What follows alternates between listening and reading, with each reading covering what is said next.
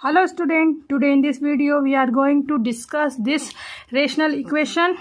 Here x over y plus y over x equal x plus y and where x and y are positive integers. We are going to find x and y value.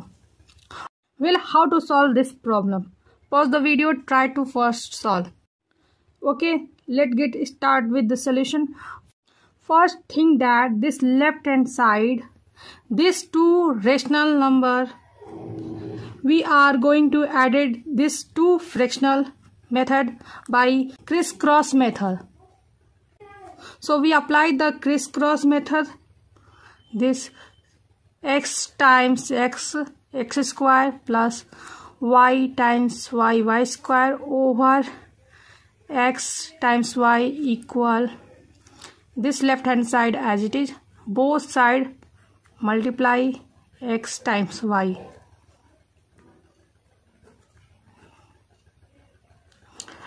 This have a same quantity it will be cancelled.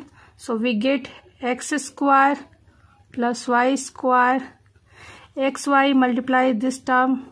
So we get x square y plus x times y square x square take the right side and also y square take the right side. So we get x square times y minus x square plus xy square minus y square equal 0 now we can see that this two term x square times y minus x square this two term x square common. So x square take the square common so we left out y minus 1 plus this 2 term y square common. So we take y square in the front. We left out x minus 1 equals 0. Notice here x and y are positive integer. That means x is not be 0 and also x square not be 0.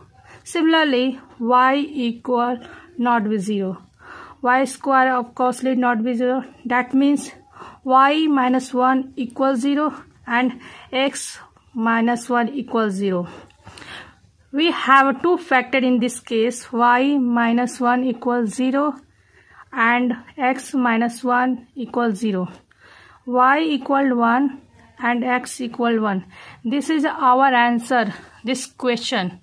I hope you are enjoy this video please like share subscribe. Bye